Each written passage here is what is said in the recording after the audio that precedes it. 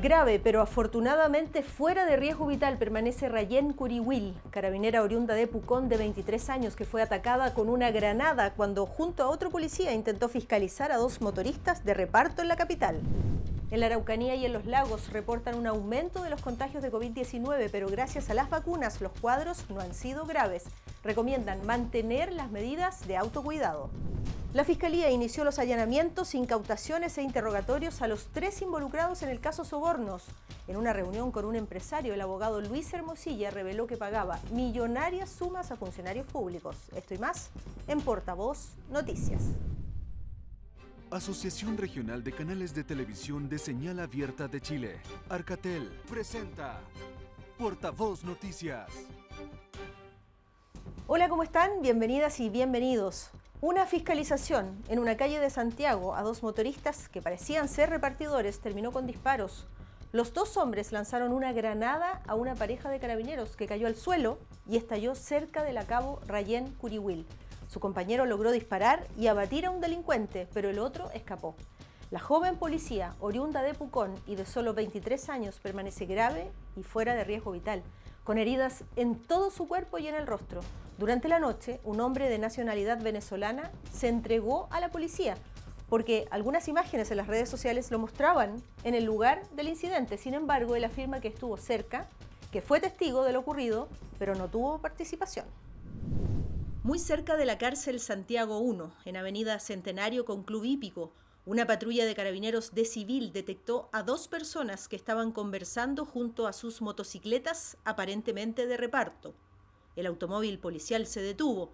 Una carabinera y un carabinero intentaron fiscalizar a ambas personas, pero uno de ellos sacó una granada de su chaqueta y la lanzó en contra del cabo segundo Rayen Curiwil. Su compañero corrió a protegerse y logró dispararle a quien lanzó el explosivo. Unos metros más allá el delincuente cayó abatido y el otro hombre escapó. La joven carabinera, oriunda de Pucón, de solo 23 años, fue llevada de urgencia al Hospital Barros Luco con heridas de esquirlas en todo el cuerpo. Apenas fue estabilizada, fue llevada al Hospital de Carabineros. De acuerdo a la versión de la policía, ambos delincuentes eran extranjeros y la granada resultó ser de fabricación peruana. Quiero ser muy claro respecto a esto. El gobierno no va a permitir perder el control del territorio y por lo tanto queremos decirle a las organizaciones eh, criminales, a quienes cometen este tipo de delitos que en Chile no vamos a permitir que se reemplace el control que el Estado tiene que tener sobre el territorio nacional. Afortunadamente, Rayen Curiwil está fuera de riesgo vital, pero tiene heridas en todo su cuerpo e incluso en el rostro. En el ámbito político, en la oposición, surgen voces que exigen la salida de la ministra Carolina Toá, ese mismo gobierno tiene una oportunidad de reivindicarse y a fines del 2023 que la noticia sea que expulsaron a aquellas personas que están ilegales en Chile cometiendo delitos. Ministra Toa, tiene usted de aquí a fin de año para cumplir la ley. Y si no, la bancada de Renovación Nacional, cumpliendo con su deber de constitucional de fiscalizarla, va a ejercer la acusación constitucional. Y en el partido en que milita la jefa del gabinete, el PPD, el diputado Raúl Soto propone decretar estado de excepción en todo el país, lo que implicaría desplegar a las Fuerzas Armadas en patrullajes de control de seguridad, como ocurre hoy en la llamada macrozona sur. No es tiempo de diagnósticos, los diagnósticos ya están hechos, es tiempo de actuar. Por eso pedimos tres medidas concretas a través de este proyecto de resolución. En primer lugar, que se decrete un estado de excepción de carácter nacional. La granada en contra del cabo Curiwil motivó un llamado a la moneda a los jefes de ambas policías. Fue solicitada por el propio presidente Boric, que participa en la cumbre de APEC en San Francisco, y estuvo encabezada por la vicepresidenta Carolina Toá y el ministro del Interior subrogante Manuel Monsalve. El gobierno le pidió a la PDI y a carabineros que evalúen medidas concretas para que el mandatario anuncie este viernes a su regreso desde los Estados Unidos. Hemos hecho un análisis al respecto. Nuestra evaluación hoy día es que el estado de excepción constitucional no es necesario en la región metropolitana como se ha planteado, pero sí es indispensable tener un plan mucho más poderoso, mucho más decidido, mucho más concreto para el control territorial. Por ahora el gobierno descarta decretar cualquier medida de excepción constitucional y ha quedado en manos de las policías el análisis de un plan de seguridad para que la moneda resuelva qué otras herramientas sumar al combate a la delincuencia. Y en tiempos en que las denuncias de corrupción golpean a gran parte de las regiones del país, en el Maule los consejeros regionales exigen sumarios e investigaciones ante la justicia. Los contratos entre algunas fundaciones y algunos organismos estatales, como los ministerios y los gobiernos regionales, han puesto sobre la mesa la necesidad de más transparencia en el uso de los dineros públicos.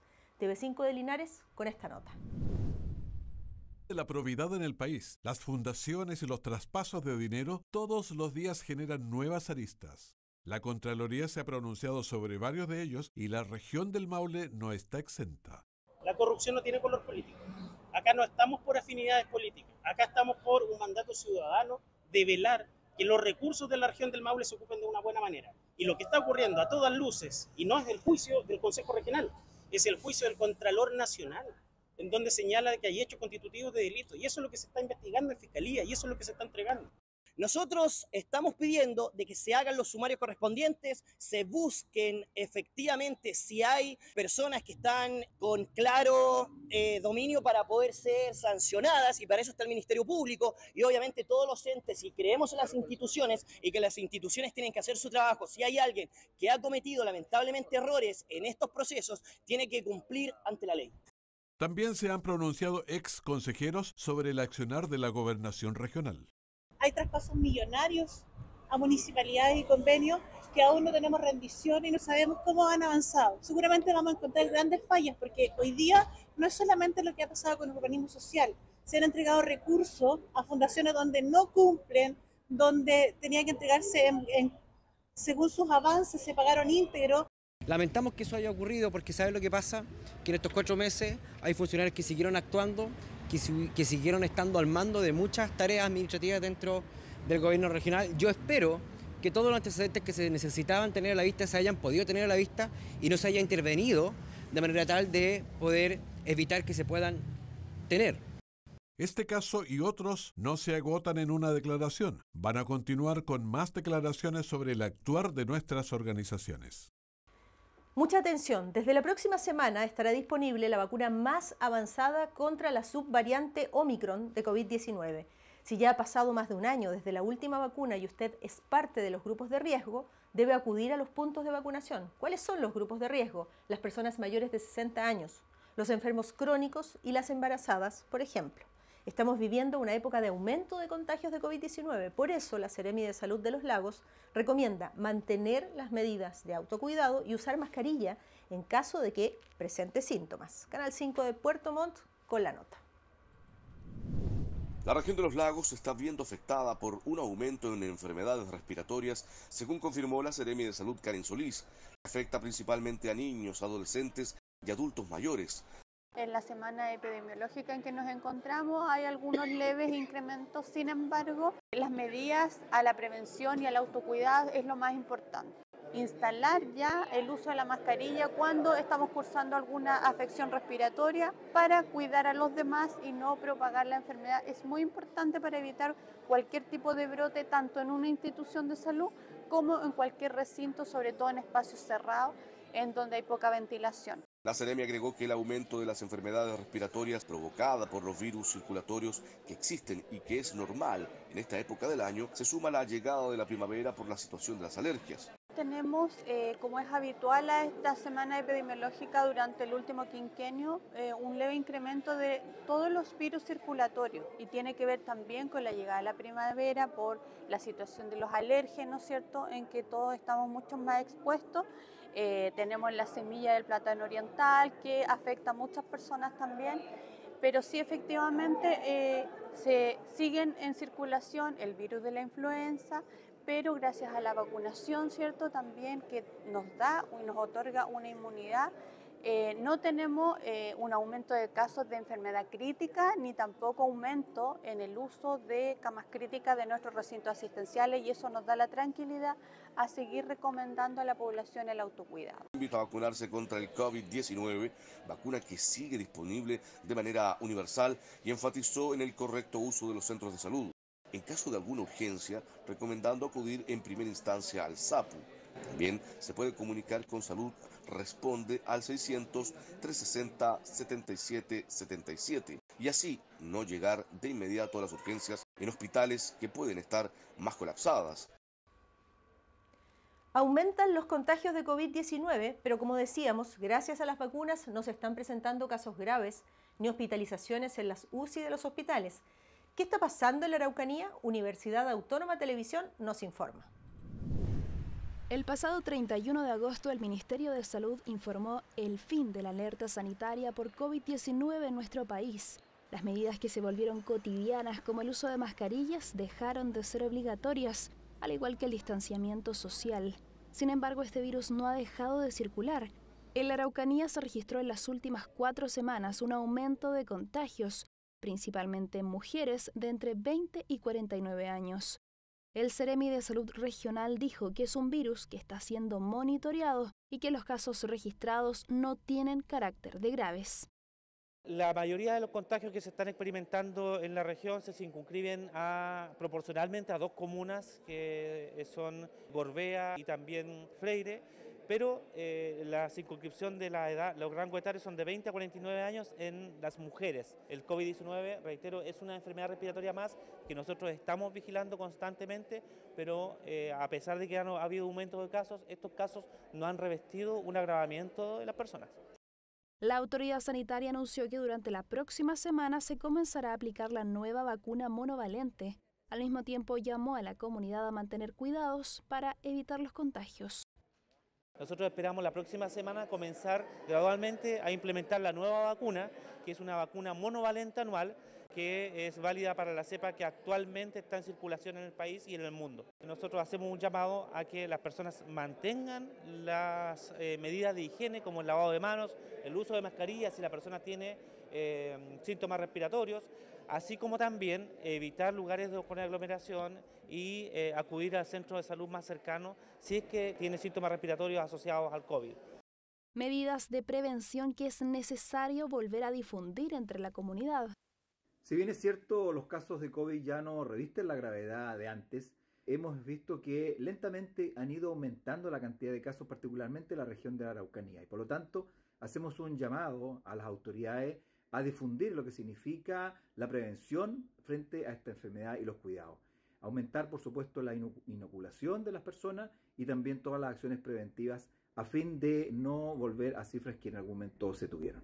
Respecto de las licencias médicas por COVID-19, su extensión dependerá de la evaluación del médico en el CESFAM, de acuerdo a los antecedentes del paciente, como ocurre con cualquier cuadro viral.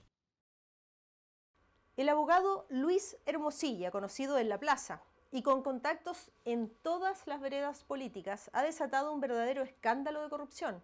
Para defender los intereses de un empresario, recomendó pagar sobornos millonarios a funcionarios públicos del Servicio de Impuestos Internos y de la Comisión para el Mercado Financiero.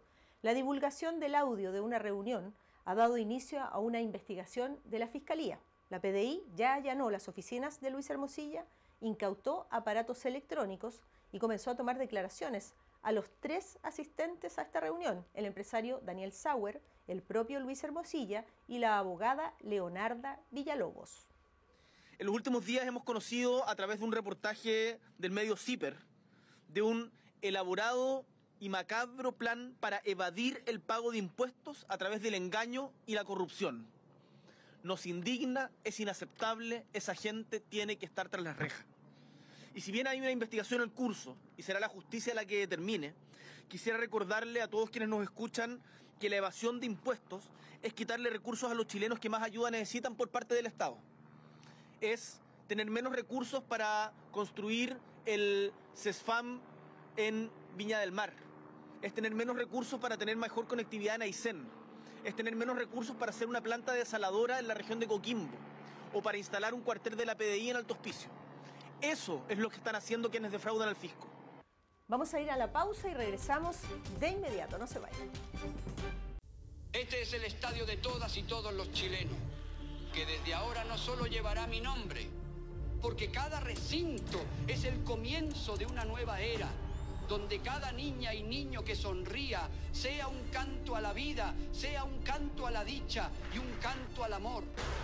Porque estos Juegos Panamericanos llenaron estadios y emocionaron a todo un país. Y con esa misma emoción vamos por nuevos desafíos, porque comienzan los Juegos para Panamericanos. Prepárense, abrácense y volvamos a celebrar, porque el legado comienza hoy.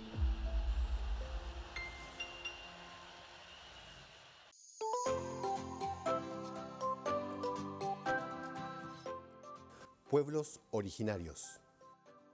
Pueblos originarios. Mapuche. Mapuche. Aymara. Aymara. Diaguita. Diaguita. Atacameño Olicanantay. Atacameño Olicanantay. Chango. Chango. Rapanui. Rapanui. Quechua. Quechua. Coya. Coya. Yagán. Yagán. Cahuéscar. Cahuéscar.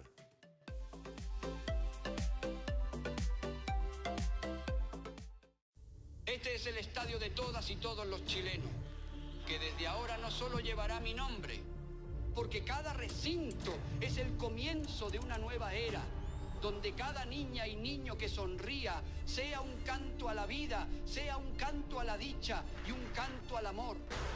Porque estos Juegos Panamericanos llenaron estadios y emocionaron a todo un país. Y con esa misma emoción vamos por nuevos desafíos, porque comienzan los Juegos para Panamericanos. Prepárense, abrácense y volvamos a celebrar, porque el legado comienza hoy.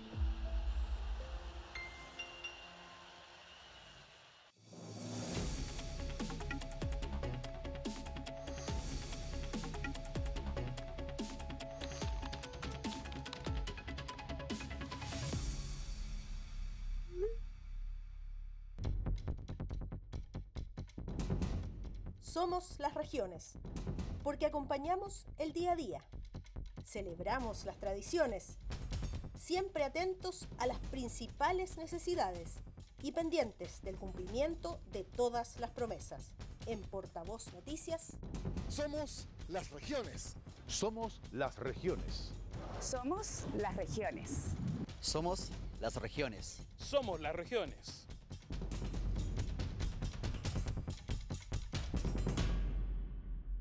A propósito del Día Mundial de la Diabetes, queremos llamar la atención de algunos aspectos. Es una enfermedad crónica que afecta al 10% de las personas. Por eso es importante alimentarse de manera sana, hacer actividad física y cumplir con los controles periódicos, porque una diabetes que no es bien tratada puede llevar al organismo a un grave deterioro o incluso a la muerte. Contivisión con la nota. Fue una singular actividad. Usuarios del Centro de Salud Familiar de Maule y de otros servicios de atención primaria formaron parte de un acto de conciencia en torno a la diabetes. Se realizó en el gimnasio municipal de la comuna, lugar hasta donde llegaron cientos de usuarios quienes a través de monitores de salud primaria fueron protagonistas de actividades como baile, zumba, pausas activas, entre otros, como una forma de fomentar la actividad física como una actividad preventiva de esta enfermedad. La diabetes es una enfermedad que ha ido aumentando en el tiempo y mucho tiene que ver con nuestros hábitos, con nuestra calidad de vida, a lo mejor en la alimentación, mucho sedentarismo, eh, la alimentación no adecuada, con obesidad, con sobrepeso, que es un factor de riesgo para llegar a tener diabetes. Promover hábitos saludables, mantener una dieta balanceada, hacer ejercicios y tener los controles al día son parte de los consejos que se entregaron en la jornada que se enmarcó en la conmemoración del Día Internacional de la Diabetes. A veces los síntomas son un poco silentes, entonces hay que estar pendiente, algo eh, que además se ha visto agravado con la pandemia y entonces eh, es una preocupación importante, es una causa de, alta eh, morbilidad y también mortalidad en el país, así es que en la región queremos darle un enfoque desde lo positivo para que las personas se motiven tanto al control de su enfermedad, pero también al diagnóstico el 10% de la población chilena presenta esta enfermedad que de no cuidarse y mantener un tratamiento adecuado puede generar un grave deterioro al organismo y hasta provocar la muerte. Preocupante como en todo el país porque es una enfermedad que ha aumentado mucho en los últimos años, que crece con la obesidad y con el estrés de la población. Entonces después de la pandemia se nos vino una avalancha importante, aparte de que se atrasaron muchos controles. El llamado a la comunidad es a cuidarse, a mantener una alimentación saludable, practicar actividad física y evitar conductas de riesgo como el tabaco, la mala alimentación y una vida sedentaria. ¿Qué oportunidades y espacios tienen los jóvenes para expresar sus inquietudes, sus preocupaciones y sus necesidades? En San Felipe, los estudiantes de distintos colegios se reunieron en un consejo consultivo Ahora las tareas quedaron en manos de las autoridades de la comuna, nos informa BTV. Adolescentes y jóvenes de distintos establecimientos educacionales fueron los principales protagonistas del Consejo Consultivo organizado por la OPD de San Felipe, una instancia donde pudieron plantear ideas y exponerlas delante de las autoridades para ejercer el derecho de ser escuchados. Me parece fantástico todo este tipo de actividades porque nos permiten a los jóvenes poder desarrollarnos como personas y ser partidarios de la comunidad. considero que es fundamental para la sociedad que los adolescentes sean escuchados porque muchas veces se desprotege esa parte de la sociedad. Jornada que se desarrolló de forma participativa, donde cada uno de los jóvenes pudo conversar sobre diversas temáticas. Hay muchos temas que, de hecho, muy importantes porque no se tocan, algunos en las escuelas, por ejemplo, la neurodivergencia.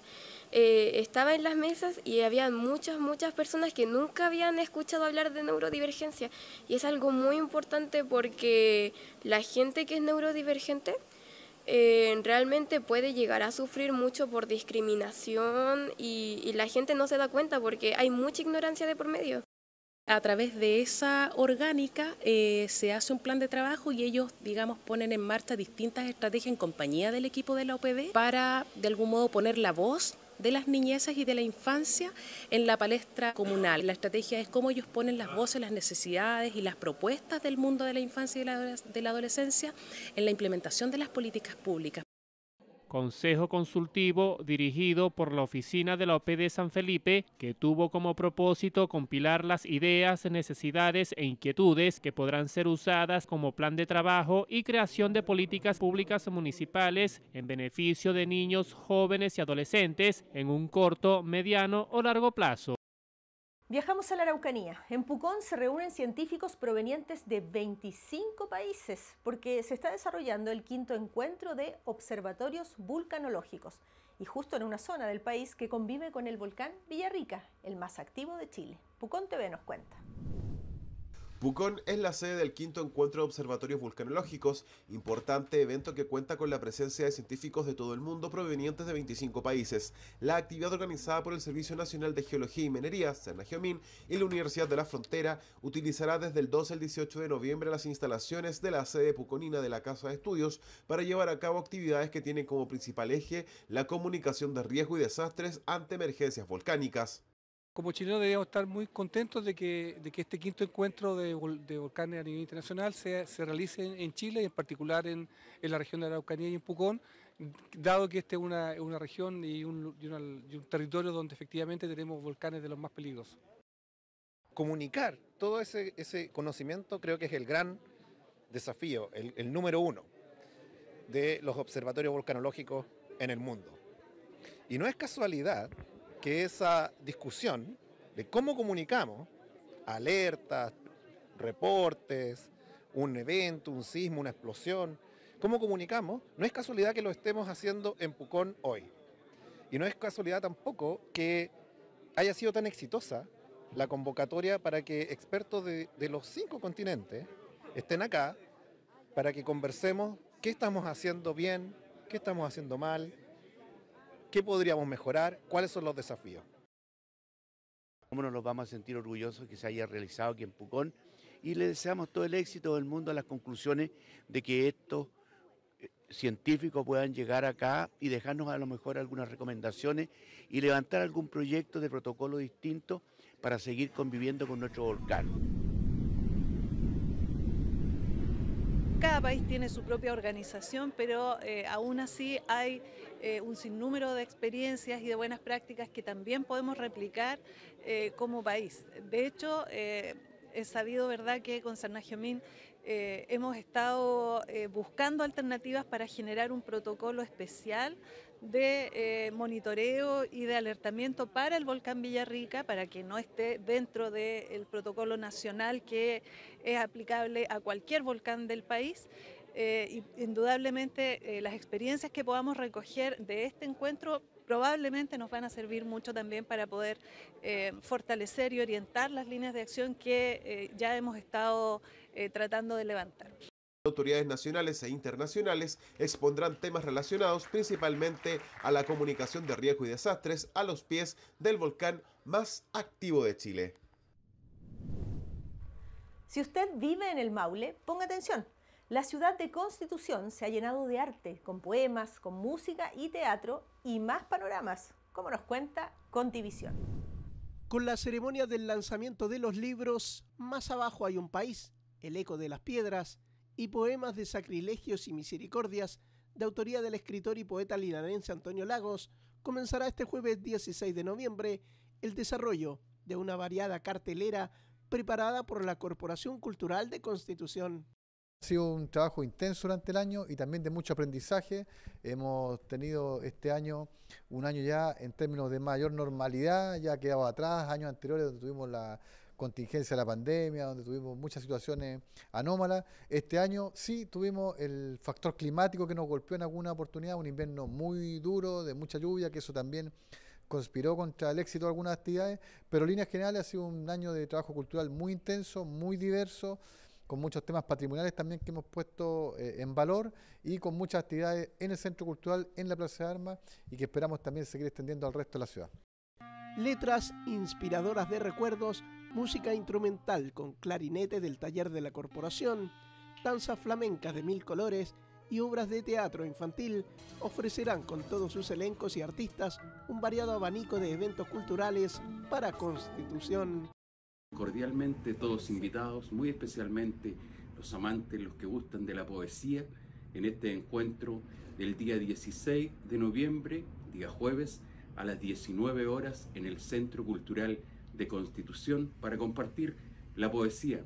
El viernes 17 de noviembre a las 19 horas en los espacios de la Corporación Municipal estaremos dando un concepto didáctico de clarinetes. Los queremos invitar a que escuchen repertorio diverso e interesante y que se vayan a casa conociendo muy bien este maravilloso instrumento. Quería hacer una invitación para el día sábado 18 a las 9 de la noche, donde se va a presentar en la Academia de Danza Flamenca de la Corporación Cultural la Academia Furia Flamenca de Talca y la Bailadora Palú de Concepción. Para que nos acompañen, va a estar muy bonito y puedan disfrutar del espectáculo. ¡Hola! ¿Cómo están? Los queremos invitar este 19 de noviembre a las 17 horas 5 de la tarde en la Plaza de Constitución a la obra Favor Concedido. ¡Nos vemos! La Plaza de Armas y el Salón Principal de la Corporación Cultural de Constitución serán el epicentro cultural desde este día jueves 16 de noviembre, con actividades para adultos y niños. Y antes de cerrar, el Premio Nacional de Artes Escénicas en Teatro se fue al norte del país. Teresa Ramos ha sido distinguida esta vez, después de más de 60 años de trayectoria contribuyendo al desarrollo del teatro en la región de Antofagasta. Hay más información en nuestra página web www.portavoznoticias.cl y recuerde que también puede visitar nuestras redes sociales. Muchísimas gracias por acompañarnos, les mandamos un abrazo grande y hasta pronto. Asociación Regional de Canales de Televisión de Señal Abierta de Chile. Arcatel presentó Portavoz Noticias.